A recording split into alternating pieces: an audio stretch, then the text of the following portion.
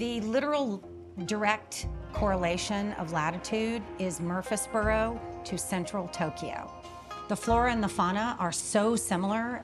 Japanese maples all in my mom's yard. Over time, there has been this really unique relationship established between Middle Tennessee and Japan, which has not affected the way that I cook, but it's helped me to connect to a culture that I am not from. And so this connection has helped me to create my own connection. You can't do something this hard if you don't love it, and you can't love it unless you have a connection to it in a way that is not just superfluous. Sure. So that connection between Middle Tennessee, being here at this time in my life, making ramen for people here, that brought it all together.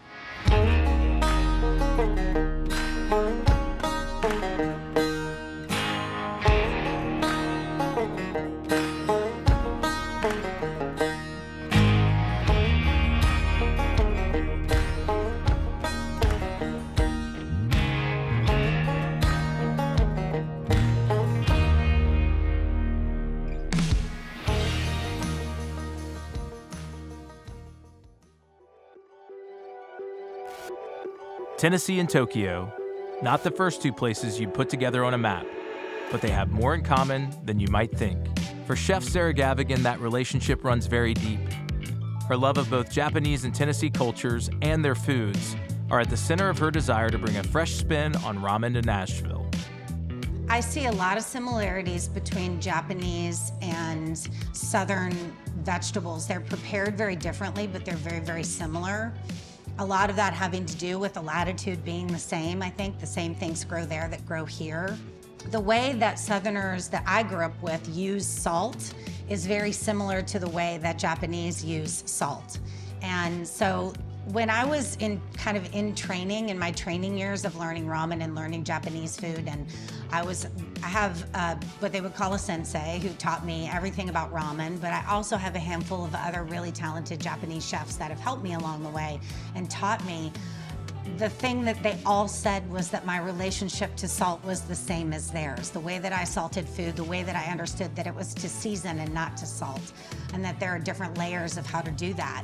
And if you think about like you know, great cornbread isn't salty because of the salt. It's salty because of the fat that came from the country ham.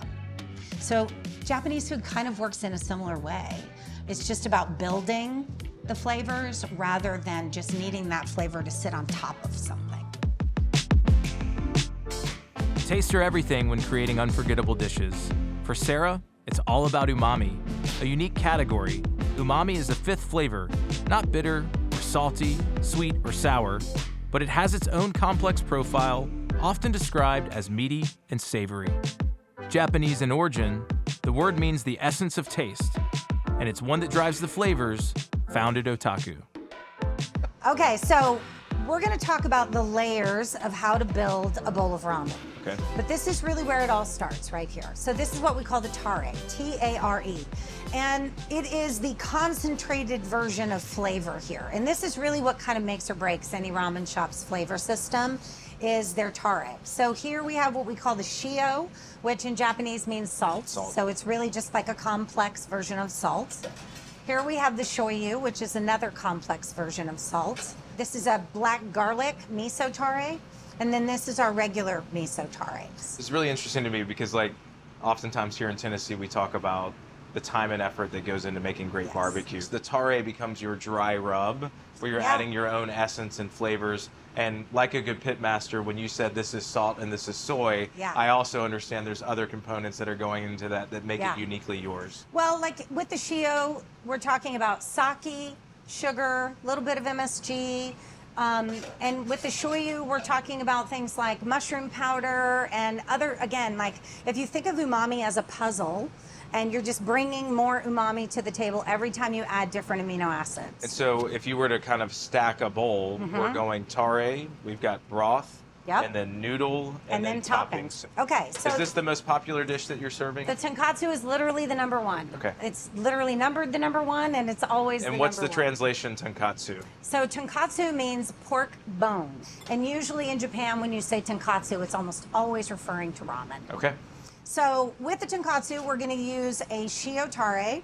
And this is very concentrated salty, right? So Because- yeah, you can imagine one ounce of the salt up against 12 ounces of the broth. Okay.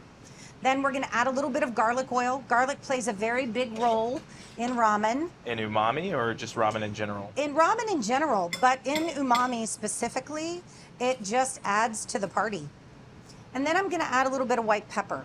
It plays a big role in ramen, very um, because mostly for you don't want to see the specks, right? Right. It's for a visual, but also because it's got that kind of musty flavor to it, and that's a really big part of what we do. What we're going to do next is move over to our noodles. So there's no egg in this ramen, in this noodle. This noodle is made of water, flour, and what the Japanese call kansui, which is really like a baking soda. It's a sodium bicarbonate. So kind of eat it raw Okay. first. And you get the sense of like, it's this guy's stretchy. It's elastic. It's really stretchy. I mean, it tastes good raw. Yeah. And so the noodle is something that probably if you have a many many bowls of ramen, is that the first taste kind of the al dente, the Sicilian style? Yeah. It's got to be perfect every yeah. time. So 30 in- seconds. In the tank we go. And we will hit 30 seconds.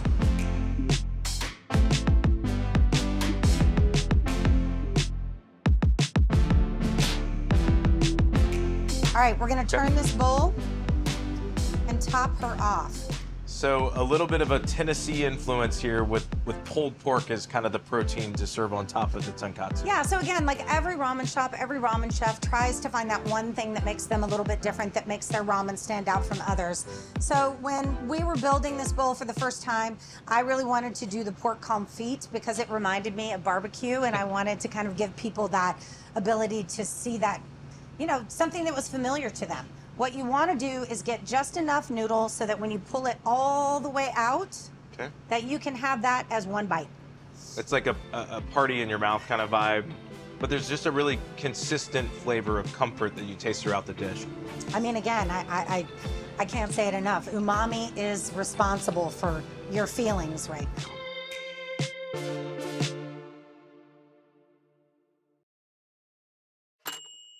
Blending her experiences of cooking with Japanese flavors and locally sourced ingredients. Sarah brings a southern twist to our party by preparing okonomiyaki for our guests.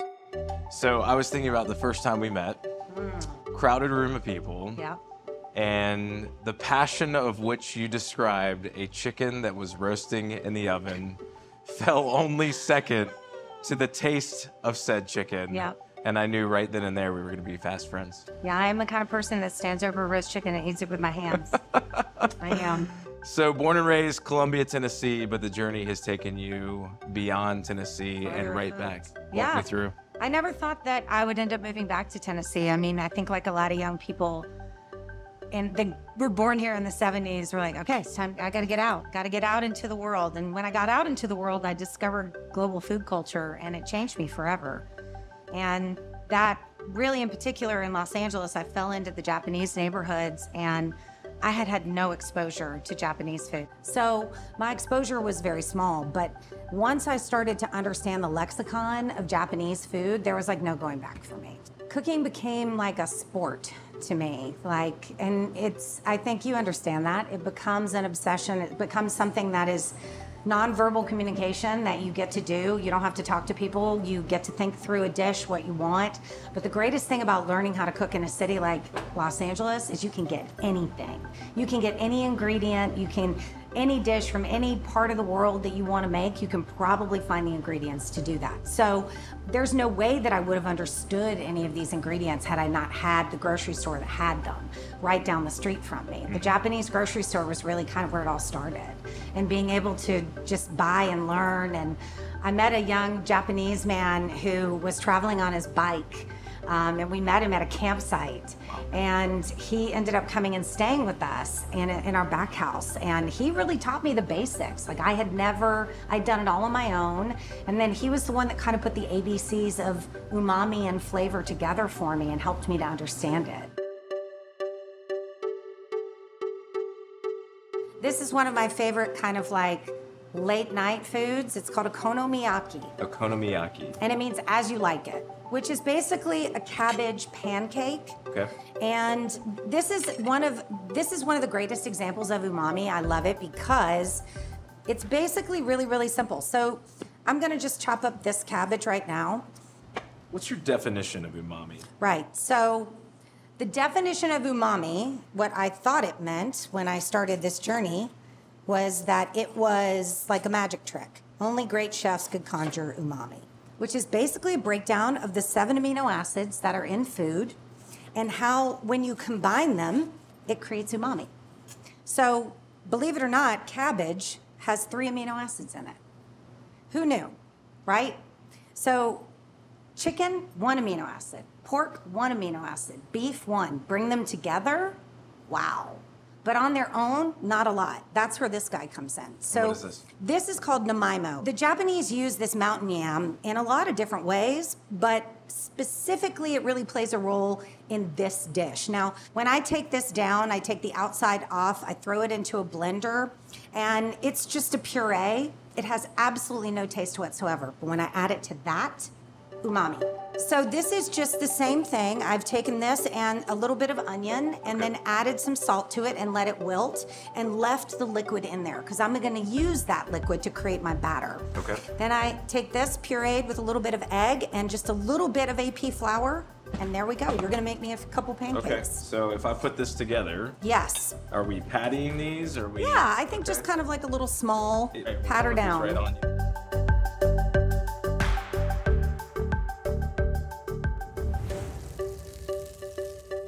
I decided that I wanted to start working at a farm, you know, while my daughter was in school. And so I headed out to this farm during the day.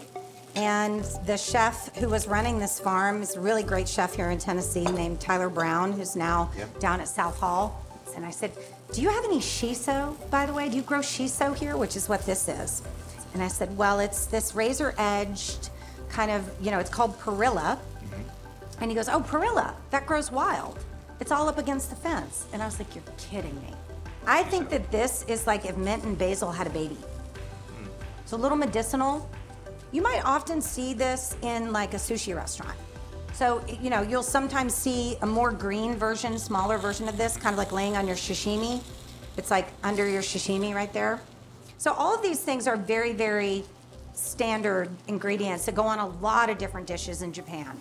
Is this like a traditional pancake? They get better as you keep making them. Oh, yeah.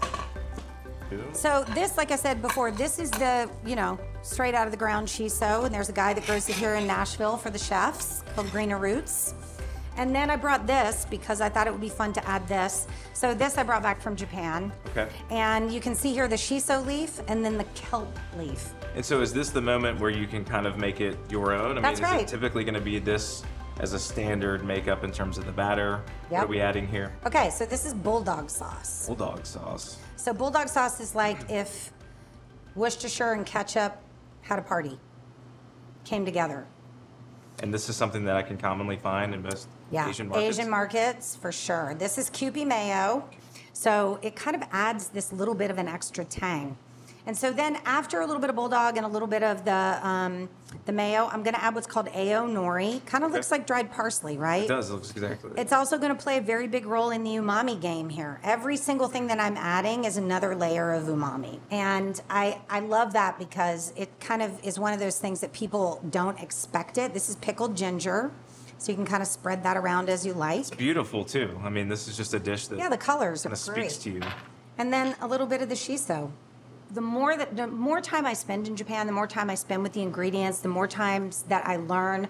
I then come back and get to combine the products from Tennessee with the products from Japan. Chasing the umami. Always chasing. it. Always chasing it. So here we go. I Unexpected to find this here, yeah. uh, but knowing you, you're gonna bring out the best of everything. Oh, it's so good. Mm. Party in your mouth. So much going on. Mm-hmm. You mentioned it. It's literally like every part of my palate is singing right now. Yep. I mean, it's hitting on every single note. I mean, the everyday food of Japan is so beautifully simple. That's a big part of what you've been able to you know, just make this approachable. Um, I love that we're cooking it in Tennessee cast iron, using ingredients that you're finding central Japan to Tennessee, and then ultimately making it your own. And this is just simply delicious.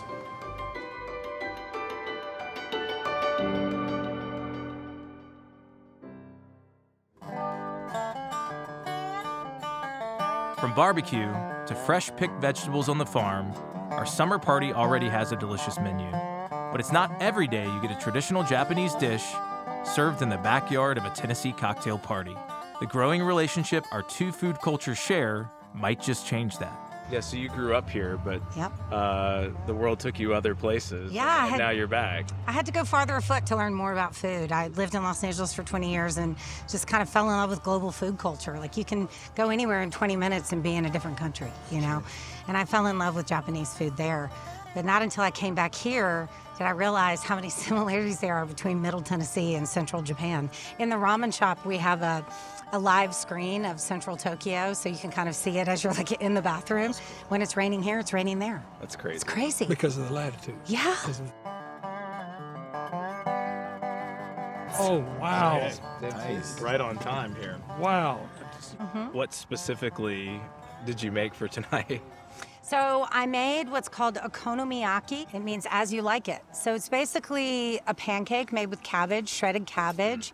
So underneath it, we have the shiso leaf, which is actually one of the fun pieces of the heritage and the story of the connection between Middle Tennessee and Japan that I learned.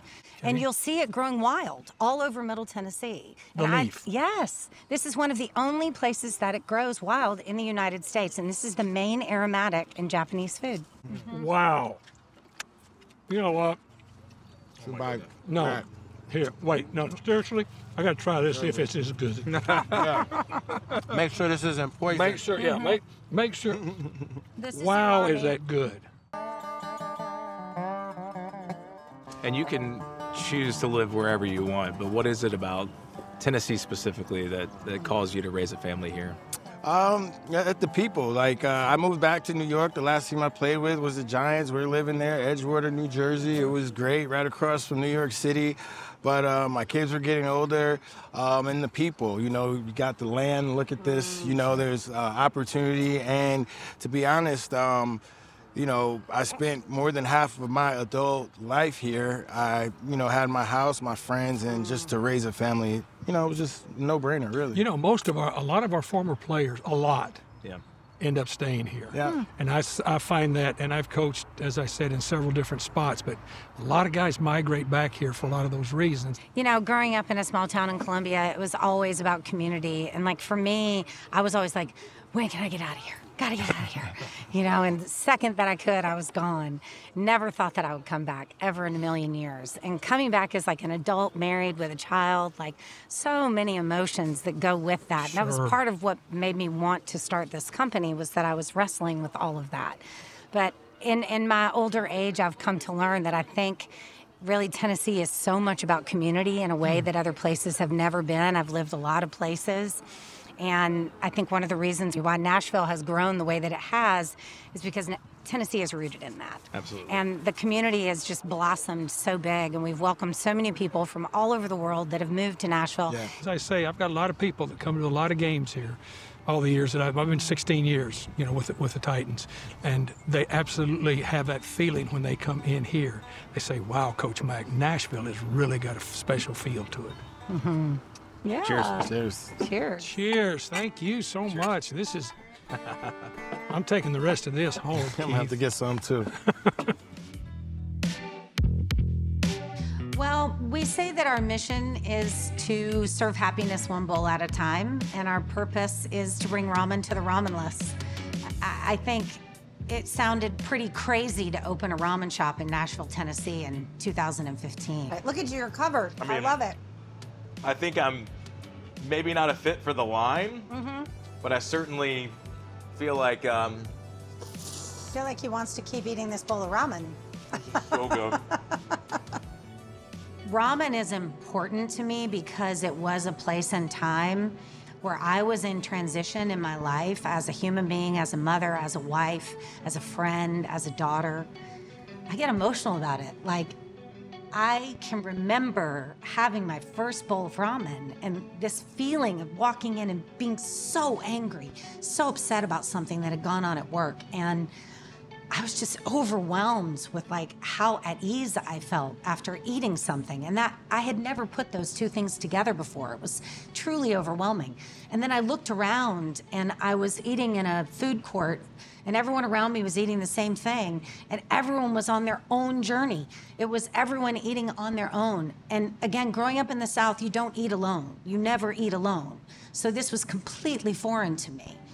So there's something about the singular collective experience that transcended that moment for me, and I needed it after that.